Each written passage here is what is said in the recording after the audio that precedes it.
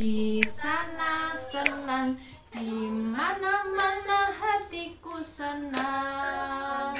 Tangan melambai-lambai, bahu digoyang-goyang, senyum yang amat manis, tepuk tangan.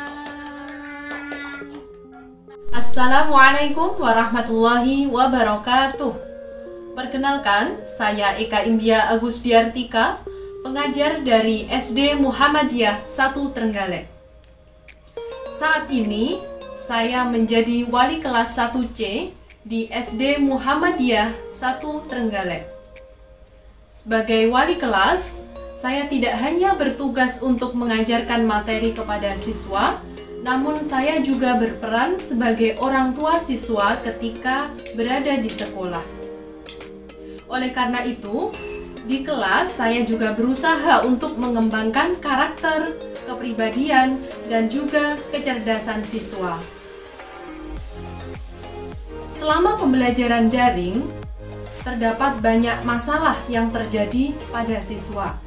Apalagi untuk kelas 1 yang baru saja lulus dari taman kanak-kanak. Tentunya mereka butuh proses adaptasi dari TK menuju ke sekolah dasar. Ada dua permasalahan utama yang saya temukan. Yang pertama adalah kurangnya minat siswa dalam belajar, utamanya dalam belajar secara daring. Ketika saya mengajar untuk pertama kalinya pada tahun ajaran baru, Beberapa siswa saya merasa bosan dengan pembelajaran daring. Ada dari mereka yang masih ogah-ogahan ketika mengikuti pembelajaran, sambil tiduran, sambil bermain, maupun ada juga yang menangis ketika proses pembelajaran. Masalah yang kedua adalah keluhan dari orang tua. Beberapa orang tua mengeluhkan akan sikap anaknya ketika di rumah. Anak-anak banyak yang lebih suka menggunakan handphone untuk bermain daripada untuk belajar. Selain itu, anak-anak juga minim dalam hal penerapan sikap spiritual seperti sholat dan juga mengaji.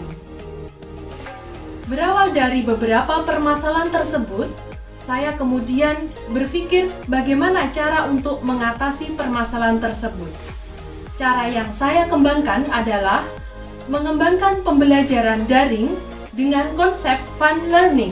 Konsep pembelajaran fun learning adalah pembelajaran menyenangkan yang diberikan untuk siswa kelas 1. Pembelajaran ini dikemas semenyenangkan mungkin dengan tugas yang variatif dan menggunakan berbagai media belajar yang dapat diakses oleh siswa. Seperti Zoom, Google Classroom, WhatsApp, PowerPoint, dan YouTube. Penanaman karakter spiritual dibiasakan dengan pengisian lembar muhasabah siswa yang dilaporkan setiap minggu, pembiasaan pagi, TPA, dan setoran hafalan. Karakter sosial yang dibangun adalah kemandirian, disiplin, dan tanggung jawab. Dampak dari kegiatan ini dapat dirasakan oleh guru, wali murid, dan juga siswa. Pembelajaran daring ada pembiasaan, pembelajaran tematik, PJOK,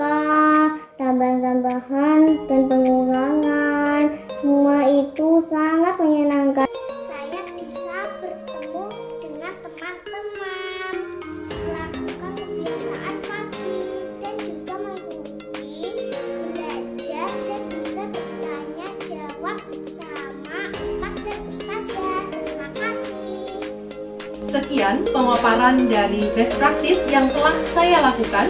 Semoga menjadi inspirasi bagi kita semua. Assalamualaikum warahmatullahi wabarakatuh.